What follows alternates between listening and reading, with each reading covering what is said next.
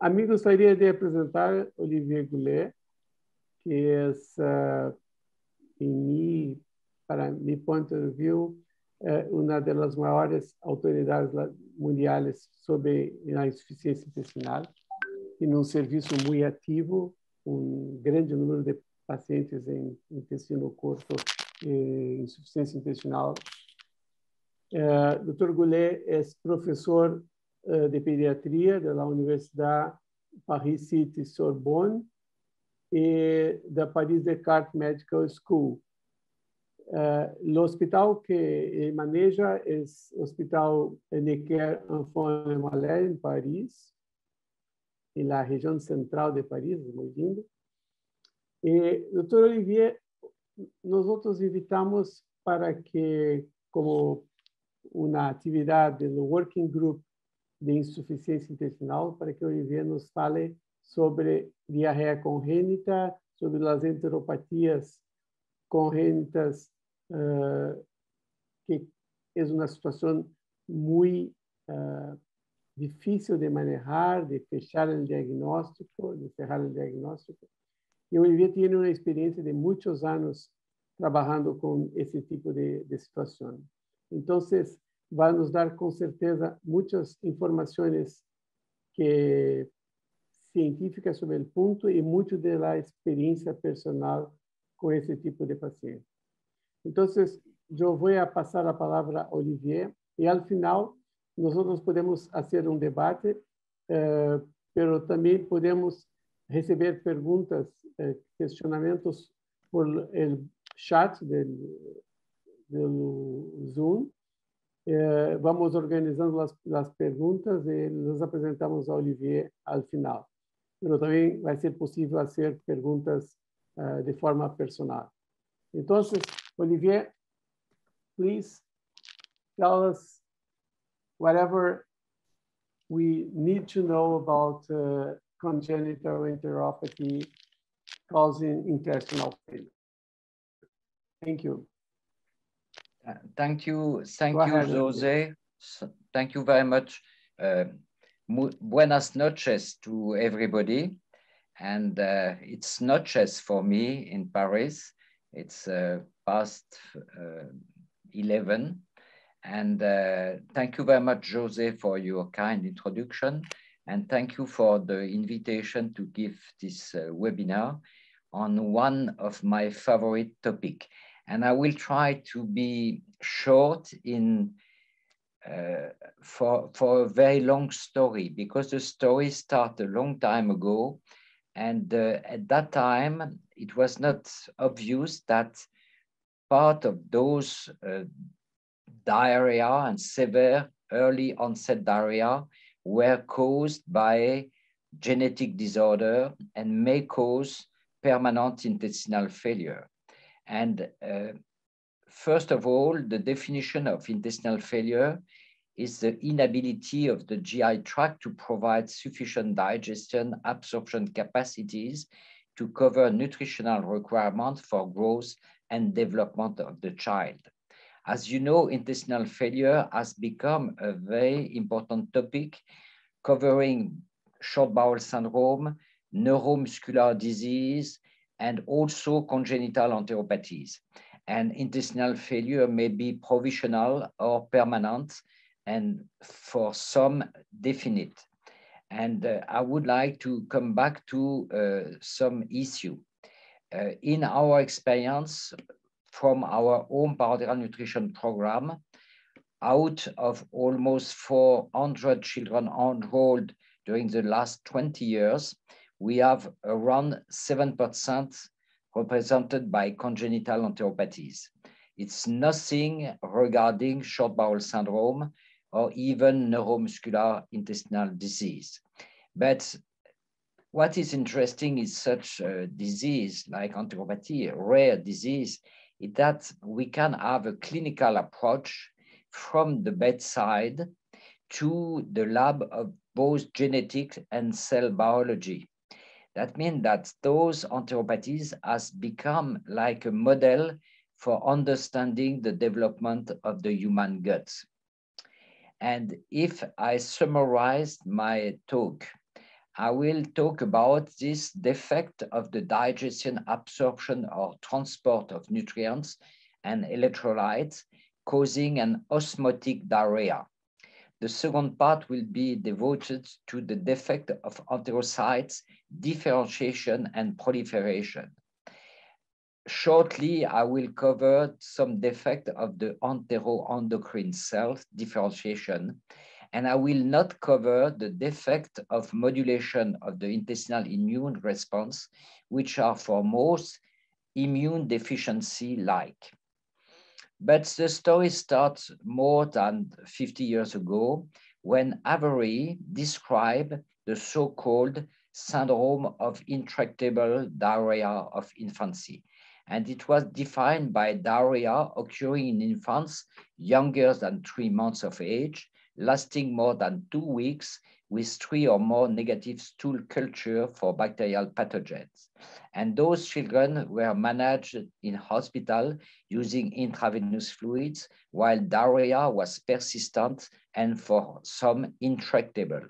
The mortality rate was high, both from infection and malnutrition. And my boss, my mentor, Claude Ricour, designed a study about 10 years after. He uh, go, went back to 180 cases requiring total or parenteral nutrition. And the counts were 32 deaths, 18% from infection and malnutrition. And the etiology was recognized only in 10% of cases including microvillus atrophy, saccharase deficiency, glucose galactose transport deficiency, Anderson disease, Waldmann disease, and protein losing enteropathy, which is not a disease, it's just a symptom, and suspected immune deficiency. And what did change during the first decades? after the description of Avery, after the work of Claude Ricour, what changed was the management of malnutrition by parenteral nutrition, but also the histopathological studies allowing to classify the intractable diarrhea of infancy and to design specific management. Interestingly, at least in Europe, were published three papers covering this uh, early onset severe diarrhea of infancy. One, two from Italy and one from France. And as you can see, most of the cases occur during the first months of life, and especially in the French series. And I did another new study 20 years after the Ricour study, and the inclusion criteria was more strict age below two years, parenteral nutrition for more than one month, and excluding documented immune deficiency, congenital birth defect, and motility disorder. And interestingly, what we have seen, only 60 consecutive cases, but the design of the study was different. The mortality rate was lower, 10%, from infection and also intestinal transplantation. And the etiological diagnosis was successful in 90% of cases. And we designed two types of diarrhea, the protracted diarrhea that can recover and the intractable diarrhea of infancy. And among the protracted, you have the intestinal transport defect, the post-enteritis diarrhea, severe colitis, some CDG syndrome, ganglioneuroblastoma, and some in that series, undefined diarrhea. And on the other side, 21 infants were had intractable diarrhea causing intestinal failure, requiring long-term parenteral nutrition. And among this group, epithelial dysplasia, also called congenital tufting enteropathy, account for six, microvillus atrophy three, autoimmune enteropathy five, phenotypic diarrhea 3 and non-defined 4. But it was more than 20 years ago. And I did a work, a European survey for collecting data from Europe and in order to uh, obtain and to describe a classification. And the classification at the time was congenital disorder of ep intestinal epithelium, including microvillus atrophy, epithelial dysplasia. And the second form was syndromatic diarrhea with dysmorphism. I will cover this. And T cell activation related enteropathy close to X-linked autoimmune enteropathy and any immune and autoimmune enteropathy. I will give a few words about this category. But what is very important for the clinician is that the initial, the very early semiological analysis should collect the following information. The family history and the consanguinity, the prenatal manifestation as polyhydramnios, the delay for onset of severe diarrhea, the characteristic and the aspect of the diarrhea, the relationship with the type of feeding, the evolution of diarrhea at bowel rest, persistent or resuming, and the extra digestive manifestation. If you collect all this data, you may perform a clinical diagnosis or of very, very rare disease. And if you look at this um, pathway, is this um, algorithm, the first information is about the onset of diarrhea. And the second is the persistence or not of the diarrhea at bowel rest, nothing by the enteral route. It persists, it's reduced, or it disappears. And from that just the sign of the response to bowel rest, you may start to have some orientation about the diarrhea. And indeed, if you add the family history, the consanguinity, the type of diarrhea, the search for dysmorphism, the search for protein-losing enteropathy, etc., etc., you may find many, many different disorders, and including microvillus inclusion disease, but also including the glucose galactose malabsorption. The difference between both is that this one persists at bowel rest and this one disappear at bowel rest. And with the clinical case I select, you will understand why the clinical analysis is very important. And conversely, cow's milk protein allergy or IPEX autoimmune enteropathy, as well as sucrase deficiency, are rarely of early neonatal onset. The case of Mireille. Mireille parents without any past history. It was the first pregnancy marked by polyhydramnios. C-section, birth weight almost normal for the term, but a bit small for gestational age. And this child was sent to ICU for a short ventilation period.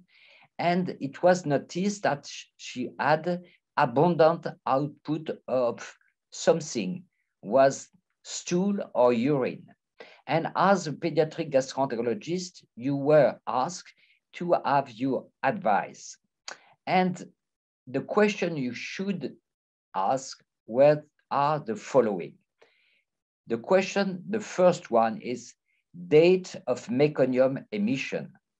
And the answer is, I don't know. The aspect of stool output, oh, it looks like urine. Okay. Are the stool persisting at bowel rest? Yes, but yes. The aspect of urine output, I don't know because probably there is a mixture with stool. The evolution of the body weight during the first day of life. And what about the electrolyte of this child? And the day after, you have the answer, especially about the electrolytes data. And back to you, the neonatologist said, ah, the child has hypochloremia, metabolic alkalosis, and hypokalemia. There is no chloride urinary extraction, and I collect the stool, and the chloride is higher than the sum of sodium and potassium. Ah, you are very clever, and you have the diagnosis. What is the diagnosis? Congenital chloride diarrhea no biopsy, no endoscopy, nothing, only blood, urine, and stool sampling. And the treatment is hydration, hydration, sodium and potassium chloride supplementation, and the prognosis is excellent. This disease can be recognized during pregnancy by the prenatal diagnosis, first by ultrasound showing bowel distension, sometimes by amniotic punction because of the hydramnios, and the, the, the, the pattern is the pattern of what is called fetal diarrhea. And if you have the notion, the knowledge that there is one case in the family, there is very easy to perform a gene analysis showing the mutation SLC26A3. And it, that's it. This child survived. She's doing very well. I am following her. And it's an easy diagnostic without any investigation. And the congenital sodium diarrhea caused polyhydramnios, bowel distension with dilated intestinal loop, prematurity, severe neonatal diarrhea, no meconium expulsion, autosomal recessive. Um, the pathophysiology, it's a sodium absorption deficit with an increased chloride excretion, especially from the colon. And it was proposed by, um, uh, I don't remember his name, it's an Italian guy, uh, Bernini, that the short chain fatty acid infusion may increase the, the, the, the, the disease. And we have not this experience because to have short chain fatty acid available is quite difficult. But anyway, the prognosis is very good, not very poor, because uh, all the child, all the children should survive and sometimes, unfortunately, there are some deaths in utero because of polyhydramnios and dilated intestinal loops. What I have never seen in my life, which is extremely rare, it's the congenital sodium diarrhea caused by two different mutations. And probably this disease is fatally, prenatally lethal, causing abortion and uh, very, very few children survive, if any one survived already. And this very rare disease is now very well identified and justified when detected a prenatal diagnosis. The case of Amel, parents without past history, origin Morocco, but the couple is consanguineous. It is the first pregnancy with a prematurity, the birth weight is 2000 gram and the height is 46 centimeter. And Amel was breastfed, but by uh, breastfeeding, she had uh, severe watery diarrhea, causing severe dehydration and moving her to the NICU with hypernatremia. She was recognized as having no stool at bowel rest and she was refed with protein hydrolysate instead of restarting breastfeeding. And on protein hydrolysate, uh,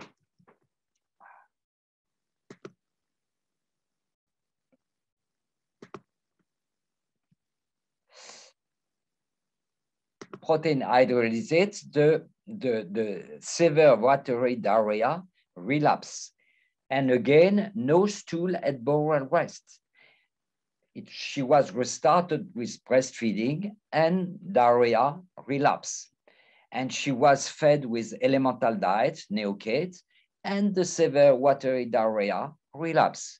She was put on total parenteral nutrition and the diarrhea disappeared.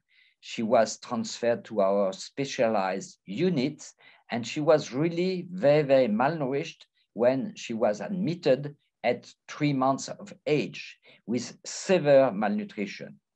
And what we did is just a dietetic analysis and total parenteral nutrition. As you can see, on total parenteral nutrition, she was able to gain weight.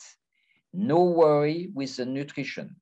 But what is this strange diarrhea of early onset, unresponsive to different diets, but disappearing at bowel rest?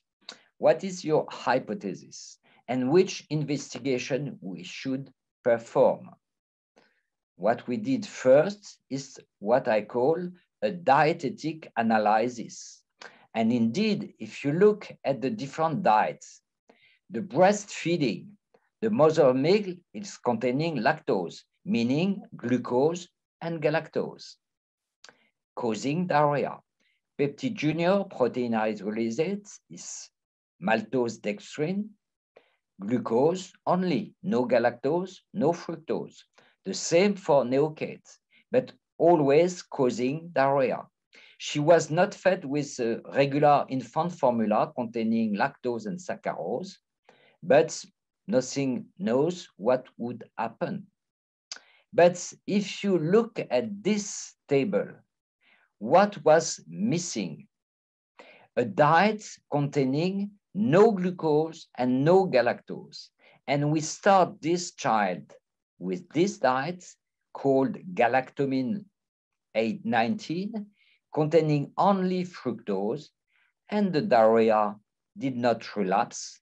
The child recovered, gaining weight, and we stop very rapidly parenteral nutrition. And the glucose tolerant test confirm the disease, which is glucose galactose transport deficiency and she was fed with galactomin 19.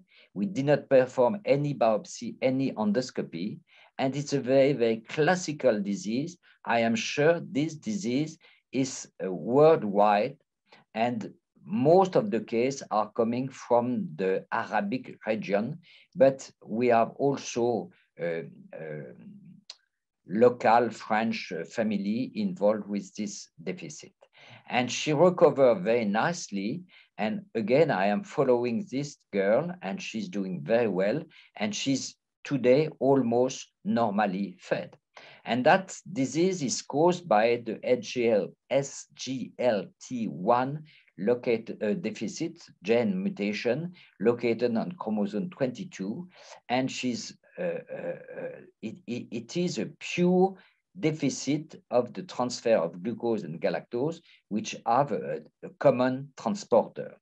And it, there is no manifestation prenatally, there is no indication for prenatal diagnosis because it's a very, very good prognosis disease, except if you have such a child with congenital sodium uh, glucose galactose deficiency, you should avoid absolutely the use of glucose-based oral rehydration solution. Why?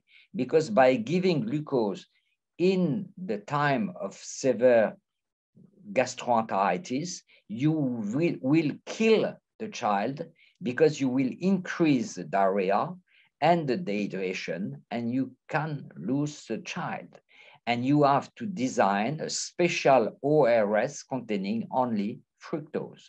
But with this condition, the prognosis is excellent on long term. And the evolution of the child confirmed this aspect. She's growing very nicely. And interestingly, we have also the experience of another deficiency, which uh, is quite complex but require also dietetic challenge and analysis because this disease also disappear at bowel rest and the first diagnosis because the glucose galactose deficiency is much more frequent than the, uh, the deficit I will talk about, we have to go to diet challenge. And if all these diets are failing to improve the child because of the relapse of diarrhea, you have to move to another hypothesis, which are the lipid deficiency, lipid transport deficiency. And one of the most recent description of those deficiency is the DGAT1 deficiency. DGAT1 is related to the deficit in an enzyme with, within the enterocytes. And it caused the accumulation of lipid within the enterocytes, impairing the epithelium, injuring the epithelium, causing protein losing enteropathy, hypoalbuminemia, etc., etc., with vomiting. And it's a severe design, severe presentation, but just by the diet challenge, you may point the hypothesis of DGAT1 deficiency, which can be confirmed by intestinal biopsy and especially molecular biology. That is to uh, tell you that uh, we may perform the diagnostic of such severe enteropathy just by clinical analysis. And it's true also for other disease.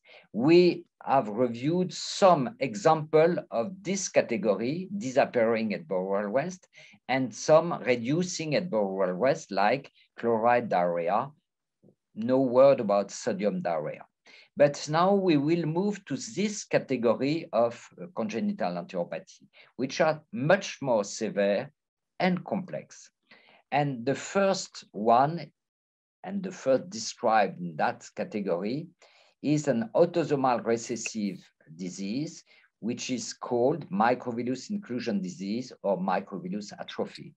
Most of the cases are on, of Arabic or Turkish origin, much more than Caucasian origin. I think that in your Latin America, you should not uh, um, meet some case uh, very frequently. But it's marked by an hydramnios with fetal diarrhea. The diarrhea is very, very early onset and is characterized by abnormal brush border, as you can see, and intracytoplasmic secretory granule, as you can see on the left bottom of the slide and it causes severe and permanent intestinal failure. And the villus atrophy is moderate. There is no mucosal T cell infiltration. The brush border is abnormal. And you can easily perform the diagnostic by regular intestinal biopsy and by using the periodic acid Schiff staining, showing abnormal brush border like you can see on this slide. And if you compare a control and the disease, there is no doubt that this is normal and that is strongly abnormal. You cannot recognize brush border because the brush border does not exist. You can use this staining or this staining and you have almost the same picture with a contrast between normal and abnormal microvillus, in, uh, microvillus uh, surface.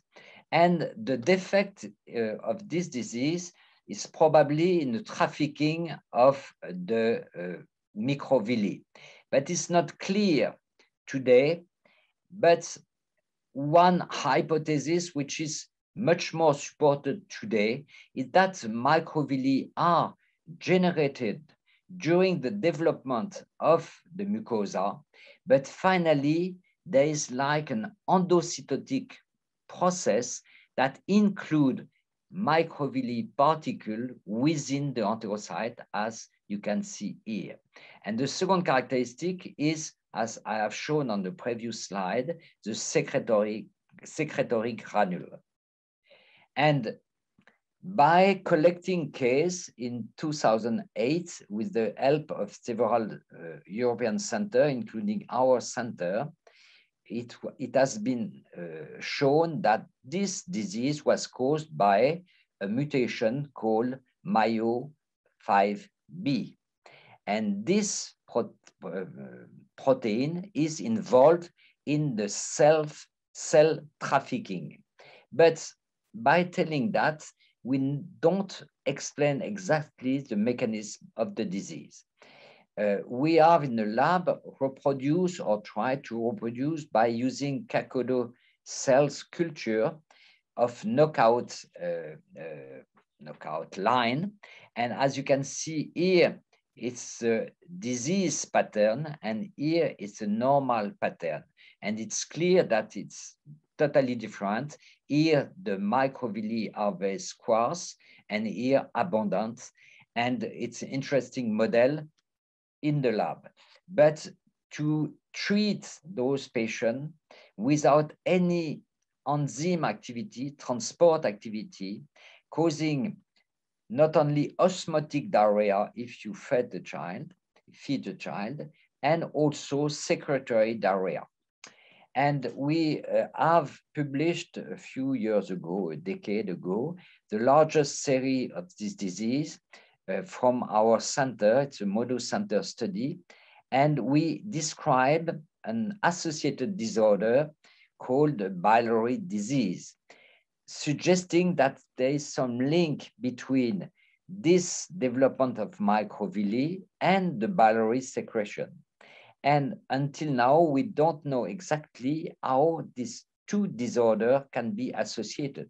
But those children who have the phenotype with biliary disease have a very, very chronic and severe pruritus.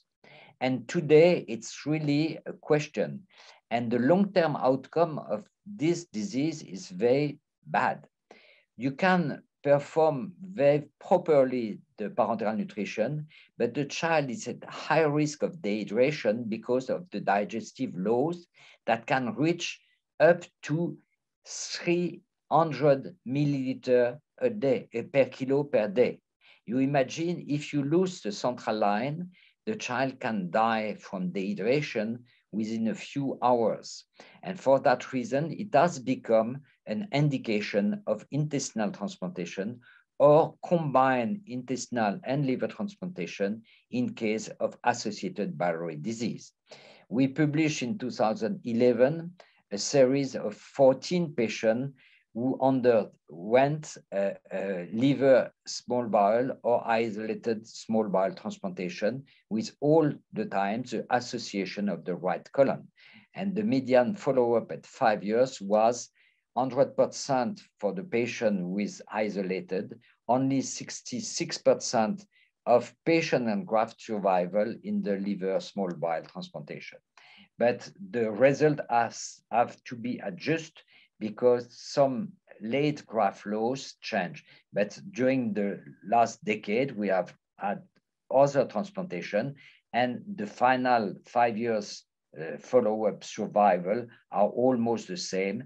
But uh, whatever is a saving procedure because of the risk of dehydration. And interestingly, it was identified first the MYO5B uh, Uh, mutation, and which is a protein involved in the regulation of the circulation of intracellular protein and the organization of the cytoskeleton. We don't know the role of MYO5B in the biliary secretion.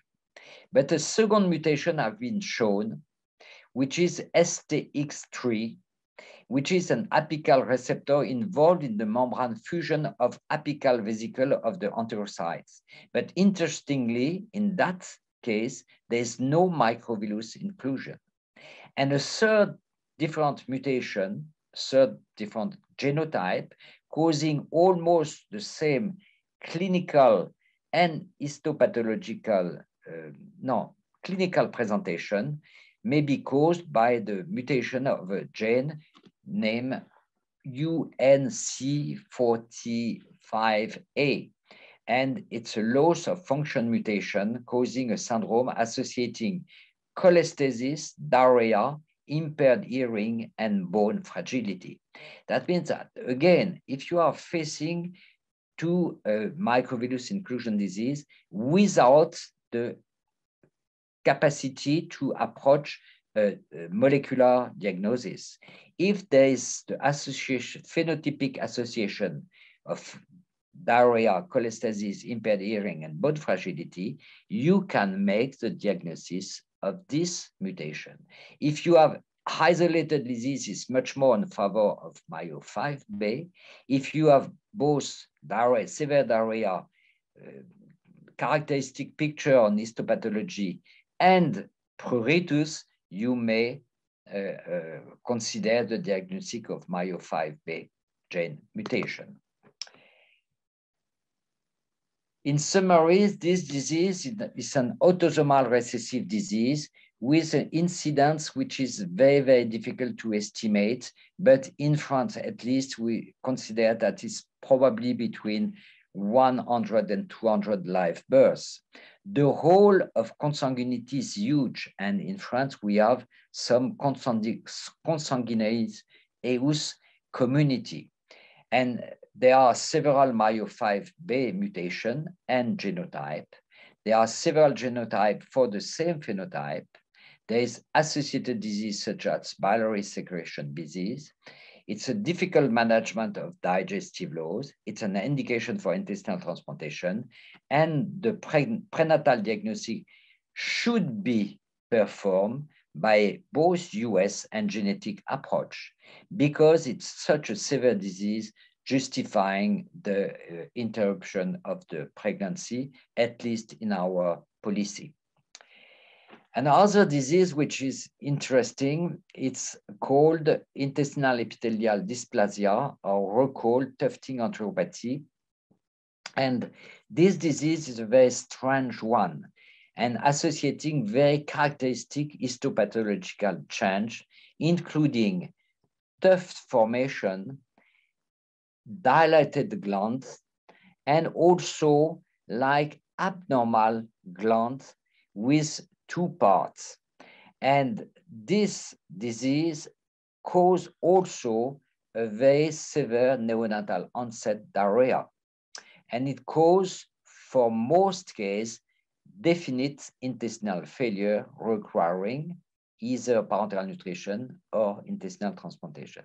When we described the disease in 95, we have had the feeling that this disease could be caused by something related to adhesion of the enterocyte between each other.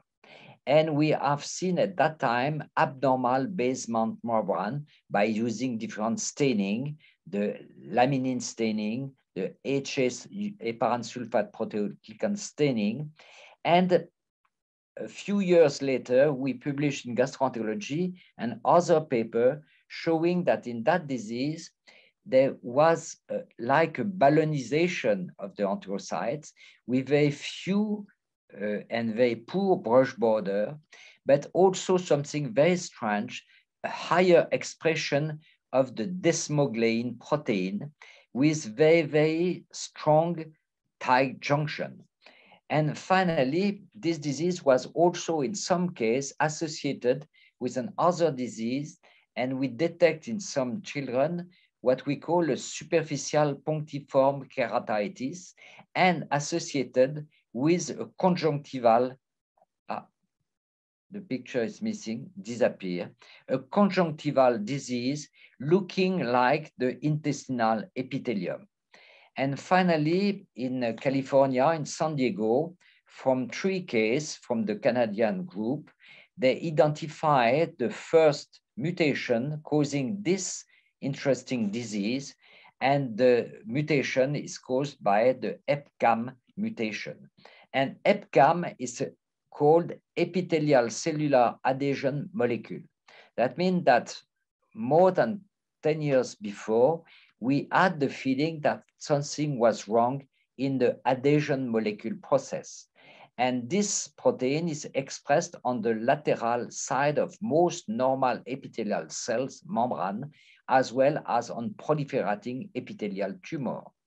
And cell adhesion receptor are morphoregulating molecule mediating crosstalk between cell and between cell and their environment, including the basement membrane.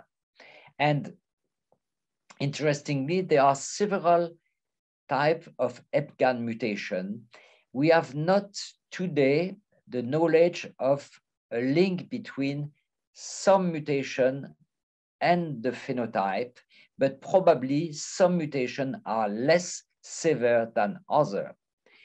And we have performed with Julie Salomon from our group an interesting study when I came back from uh, Saudi Arabia with a collection of blood sample and DNA.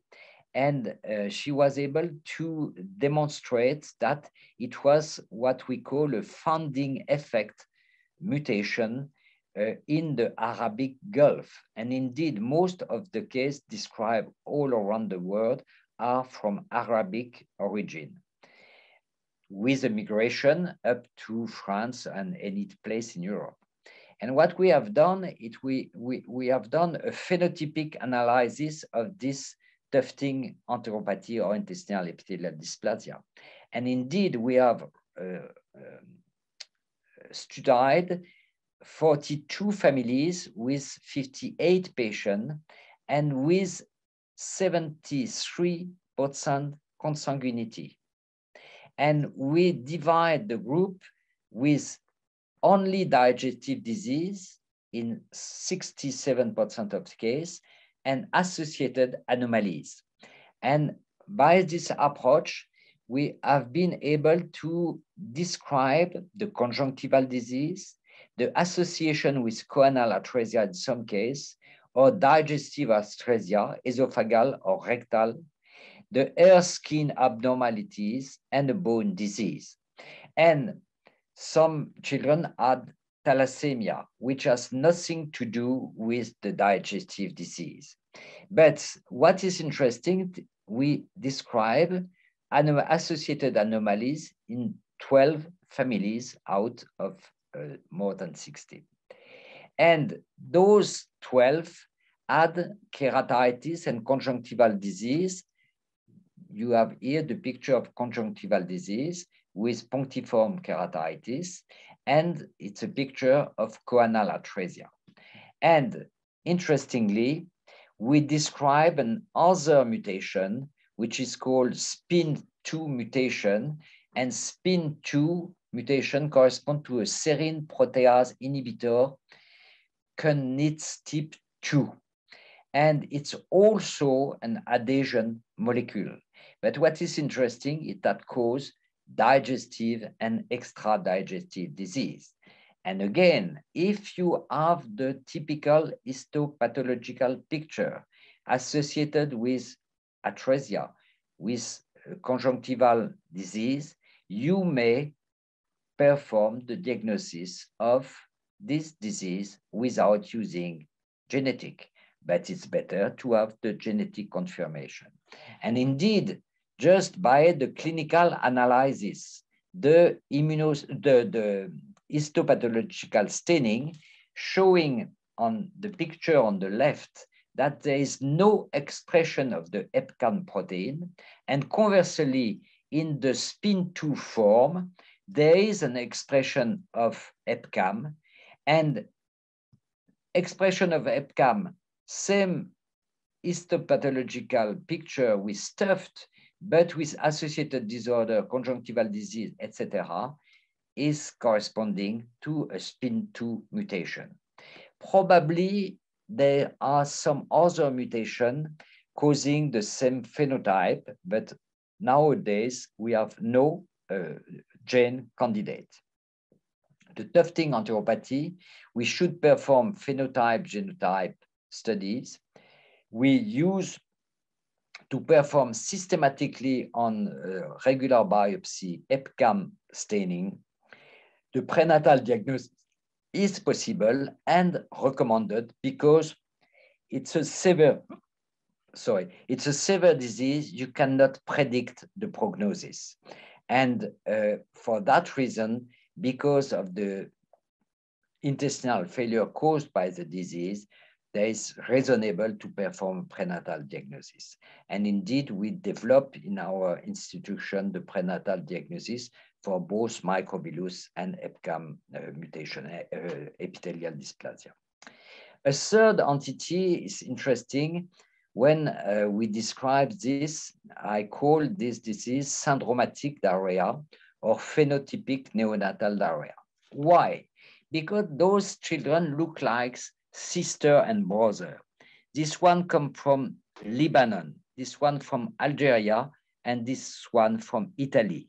But they look like not the same, but close and looking like brother and sister. And it was our first approach, our understanding the fact that those children look like each other and have in common to have a neonatal onset severe diarrhea and in some also a liver disease. And there are some other phenotype which are looking almost the same. And one of the characteristic of this disease is the abnormal hair. And the hair are very, very thin and woolly and are involved by what is called trichorrhexis nodosa. Trichorrhexis nodosa is not uh, specific to the disease, but is characteristic from the disease. That means if you have a child with early onset diarrhea, with this face, with for aid, uh, for aid, proeminent for aid, with hyperthyroid, with very, very strange hair, we can perform uh, electron, not electron microscopy, a polarized uh, microscopy. And if you have this picture, you have your diagnosis. And indeed, these child are characterized by, for some, consanguinity, small for gestational age in all cases when we first described the disease, facial dysmorphism, gross failure, for some mental retardation, and immune deficiency, very non-specific and variable immune deficiency. And when we described that in 94, we were really surprised and no explanation and no sense disease. Why the association of facial dysmorphism, hair abnormalities, and diarrhea. And it looks like a very, very strange disease. And fortunately, because the disease was associated with severe liver disease, in some case, in half of the case in our first series. And the British from uh, Birmingham discovered the first mutation causing this disease. And because they enter the disease by the liver, they call this disease the trichohepatoenteric syndrome, also called as THES. And this THES is caused by the TTC37 mutation, and uh, it's a severe disease with a very poor prognosis and no indication for intestinal transplantation because of the associated disorder. One child was transplanted, was uh, uh, received a bone marrow transplantation, but he died finally from the digestive disease. And my colleague, uh, Alexandre Fabre, described a second mutation published in 2012. And this mutation is called the SKI-V2L mutation. And it's a gene encoding another SKI complex cofactor. And the complex cofactor are very, very uh, important in the uh, in the cell regulation, and it, it's very complex, involving the regulation of mRNA expression. Sorry, that means that, again, this phenotype may be associated with or without liver disease, may be caused by at least two different mutations, TTC37 and SKIV2L, which are close in terms of involvement of the mRNA function, but we have some other case without only uh, without any of these two mutations. That means something has to be done. Again, it's a severe disease, and we have currently six patients currently on home parenteral nutrition for this particular disease. And we will soon publish the case of these six children. There are other diseases, and indeed very, very rare disease, only described in one of two cases, and integrin disease close to adhesion molecule uh, expression disease, mitochondrial cytopathy, heparan sulfate proteoglycan deficiency, but also some form of CDG syndrome. I cannot describe and make the list of all the disease, but again, those diseases I told about can be easily uh, recognized and those diseases are more or less elimination disease. That means if you rule out the other disease I told about, you may consider such disease if the uh, diagnosis is not performed. A few words about autoimmune enteropathy causing postnatal diarrhea.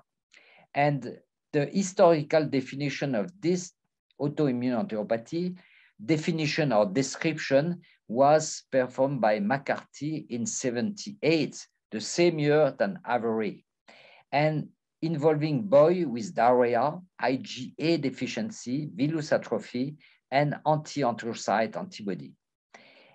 A few years later, Unsworth and Walker Smith describe what they consider initially as celiac disease, but refractory celiac disease on gluten-free diet. And they had severe persistent diarrhea without any immune deficiency, but manifestation of autoimmunity. And finally, the definition of autoimmune enteropathy is persistent severe diarrhea with villus atrophy, massive mononuclear infiltration of the lamina propria, T-cell mediated inflammation, autoimmunity as experienced by auto circulating autoantibodies without any classical immune deficiency. And the typical symptoms are massive persistent diarrhea and sometimes uh, bloody diarrhea, protein losing enteropathy, parenteral nutrition dependency, with in some cases dermatological atopic eczema with hyper IgE, with the association of neonatal type 2, type 1 diabetes, thyroiditis, with hematological characteristic like positive Coombs, hemolytic anemia, thrombocytopenia, and again, circulating antibody. That means that if you face with a boy, because this first category of autoimmune enteropathy, which is the best documented and the first described, called IPEX syndrome as immune dysregulation, polyendocrinopathy, autoimmune enteropathy, X-linked syndrome. That is the definition of IPEX syndrome.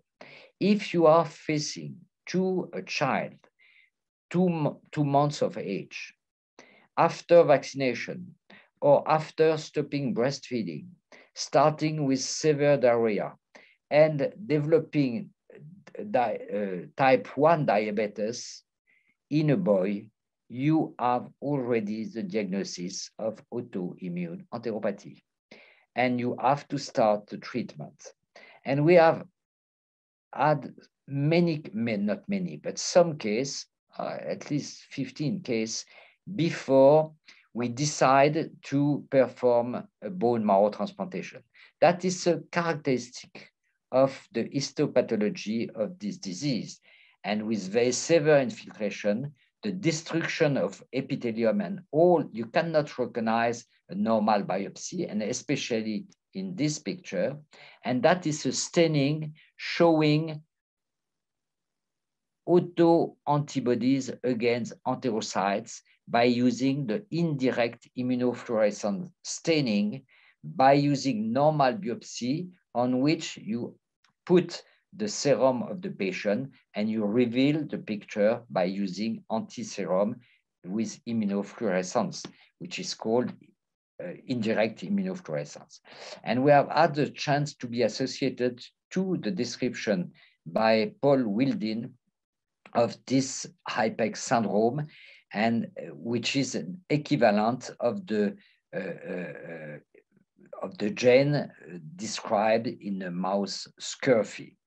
And this IPEX syndrome is characterized by immune dysregulation, polyendocrinopathy, autoimmune enteropathy, X-linked.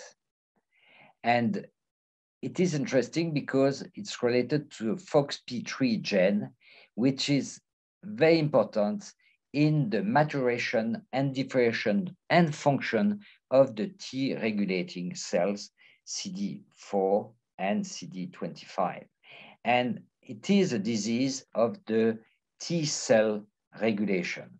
And this disease we have had, we, we faced in the past, like in this child with very severe dermatitis, hyper IgE, and type 1 diabetes. And if you have this association with diarrhea, you can, in a boy, you can perform the diagnosis. And we decide to perform the first bone marrow transplantation ever performed. And this transplantation was successful with the correction of the intestinal mucosa and the disappearance of the type 1 diabetes. Unfortunately, this child died two years later from iatrogenic complication. But our experience with autoimmune enteropathy caused by IPEX is not as good as we described in the past. And today we do prefer to use first-line treatment steroid and uh, promptly associated either with tacrolimus or better sirolimus. It's our schedule today. We describe with Frank Ruemmele two other type of IPEX-like syndrome involving both girl and boy. And we have also some children with autoimmune enteropathy, boy or girl, but restricted to the GI tract without any extra digestive manifestation. And those diseases are also supported by the treatment I told about.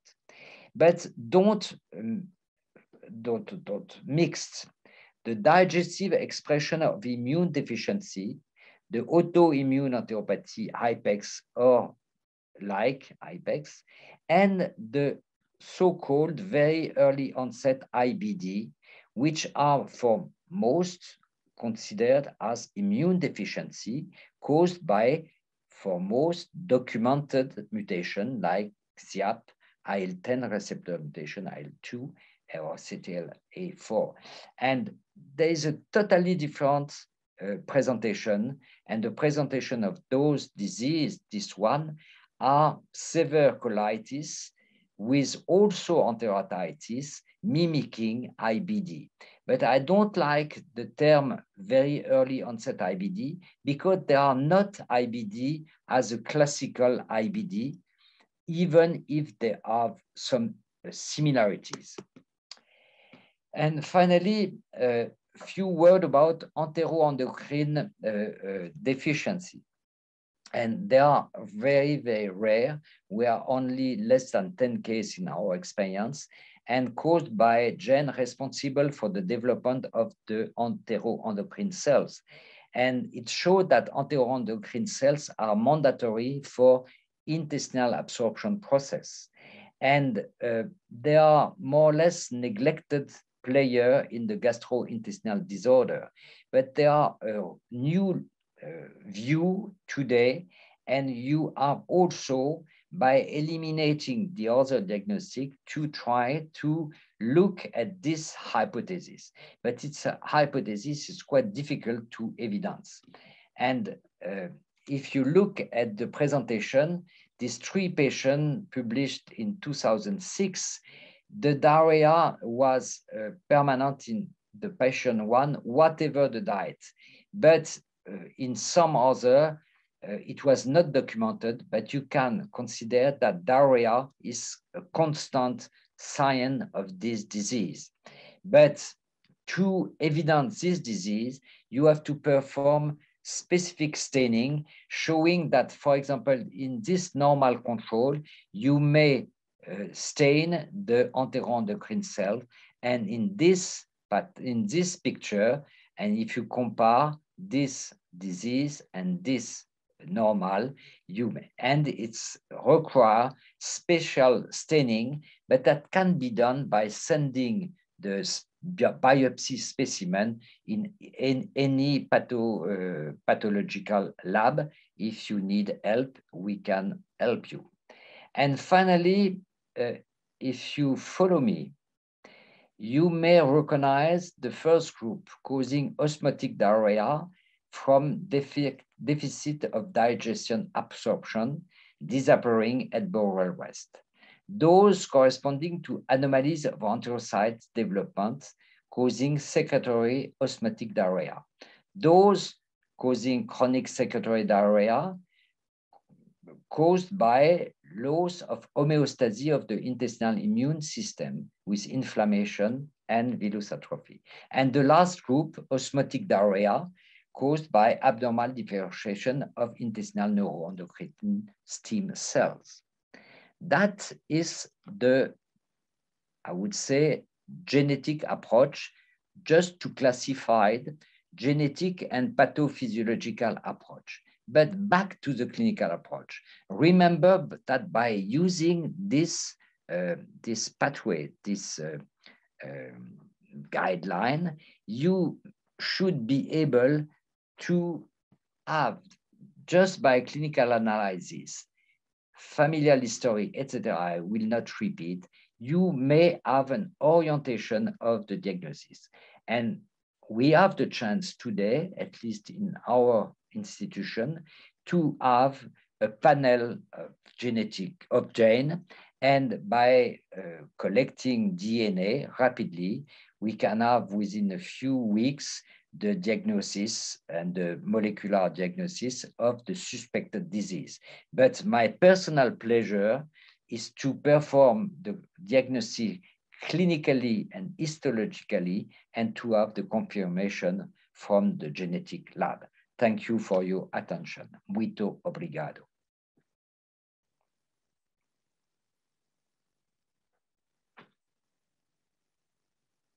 You can hear me? Yes, thank you very much, uh, Olivier. Wow, was so wonderful. Uh, we, I will see if we have any question. We don't have any question. I just have people saying that was wonderful your talk. Um, do you have an idea why um, this uh, most of these diseases are not very common for us in South America. Uh, you, you, in, I would say in Latin people uh, in Europe, um, these kind of diseases are common or most of patients are really coming from uh, the Middle East and other places as you showed. That is a good question. You know that both Latin America and Europe are countries of uh, migration. It's clear that we are much closer to the Arabic region than you. And it explains probably that in Europe, both in Spain, in Netherlands, in the UK, you have the, uh, this case and most of the work has been done in Europe. But if you look at a country like Canada, Canada has uh, migration coming from Europe, but coming also from all around the world, and they have case exactly the same. In addition, in Canada, I did not talk about the CDG syndrome, but in Canada, there are some uh, cluster of consanguinity like we have in Europe and in France like in Spain, Germany, uh, Netherlands, etc., and UK, there are people, uh, immigrated people living in more or less community with consanguineous marriage. And indeed, in your population, there are much more uh, uh, melting pots and much less, probably much less consanguinity. And it's true that most, if not all disease I told about are autosomal recessive disease. Very few are dominant, but most are, if not all, are autosomic and consanguinity increase a lot the incidence of such autosomal disease. And when I travel to, for example, uh, North Africa, Algeria, Morocco, Tunisia, they are for most unable to perform the diagnosis except if they send some specimen either from biopsy or DNA, but they have a lot of such disease because it's a typical Arabic country. I have nothing uh, against. I yeah, I have nothing against Arabic people, but the trueness is that they have some mutation, probably with the expression, the population expression increased by the consanguinity.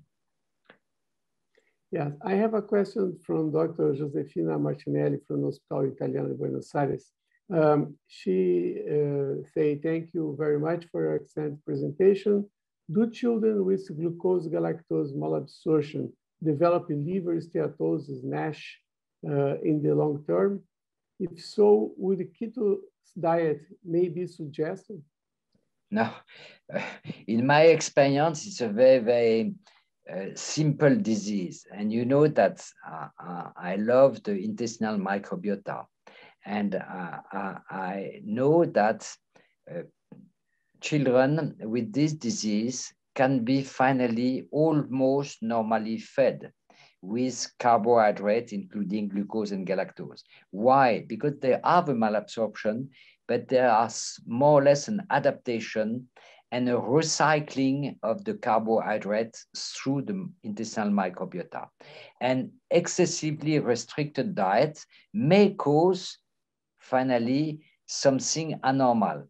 And my feeling and my practice is to try as much as possible to be, uh, to exit from excessively restrictive diets. And being confident in the microbiota to make the adaptation because it's a question of survival. And in, in, uh, in the Arabic regions, they have the same experience. Probably they are more restricted than I am, but, but it's a very, very easy prognosis, simple prognosis, and, and there's no worry about this. And please don't be too restrictive in the diet but not to be uh, liberal, but be careful and allow to the child and the family to move slowly to an almost normal diet. Mm -hmm. uh, we've seen uh, very few patients with uh, this kind of disease. One was uh, a DJ81 deficiency, which was a child that was before on uh, TPN, but uh, we started a low uh, fat diet for, for the child, and it develops very well. It's now out of TPN and uh, uh, and following very nicely the diets, and it's doing wonderful. Uh, what you think is the prognosis of these patients a long time? So when become, it, this is a, a infant at this moment, but uh, in the future, we, we, we know which, we have a time. About which disease are, are you talking? DG, DJ, no, ah, G, CDG, CDG syndrome. C'est gly glycosylation yeah. protein defect. Yes, the prognosis, yeah. the prognosis, when the disease is involving the digestion and there is a digestive expression. In my experience, the prognosis is quite, it's quite uh, favorable. But they will keep all life uh, without most lipids in the diet. There is uh, no other thing to do for them. Yeah. But you know that okay. if you have very, very few disease like those I described and I told about, you should have very, very few, the so-called very early onset IBD, because the very early onset IBD for most are autosomal recessive disease. Have you a lot of case of very early, this early onset immune related disease? Yes, we've seen, I have uh, in the group of uh, uh, infants that uh, we we diagnose inflammatory bowel disease, uh, we have two children, one with, uh, that was, we got a positive exoma, one was uh, IL-2R, IL-2R uh, the, uh, the mutation, mutation, and the other one was a XIAP. Both uh, are, the evolution is very nice. The one with L, um, IL-2R, I cannot understand, but he did very nicely with uh, with immunosuppression for a long for a, one year, and uh, now it's without any medication. Uh, it's uh, two years old, and it's completely normal life. Uh, they at that time we even could do the, the tests to see how the lymphocytes was working.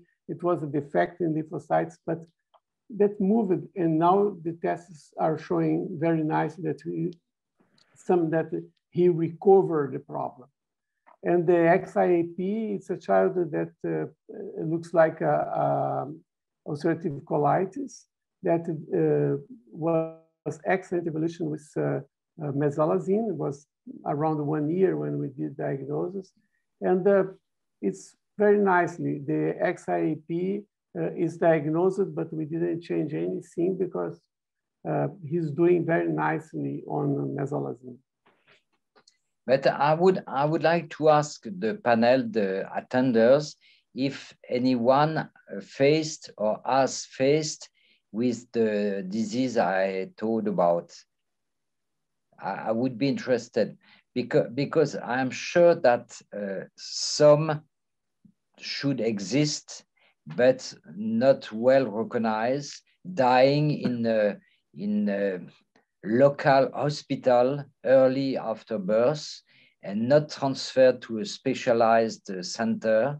But I am sure that you should have such disease because uh, whatever there is low rate of consanguinity in uh, Brazil, Brazil, for example, it's a large country and uh, there are some community and probably uh, some mutation have been introduced in the past and uh, are, are, following their life and uh, with the the consanguinity increase the incidence. And I am sure that it's a question of recognition of the disease much more than the absence of disease. Because these diseases, again, are certainly very frequent in some part of the world, but because of the migration, uh, they should uh, exist also in Latin America, both in Argentina, Peru, Brazil, etc., etc., Mexico. Thank you Thank very much, Professor Goulet. It yes. was a great lecture, and we will invite you next times. For, for, giving a talk? Of course. Thank you. Thank you very much. It's it's my pleasure. I love Latin America. I have, so, I have so many friends in Latin America. And also you have to come to, um, to, to America.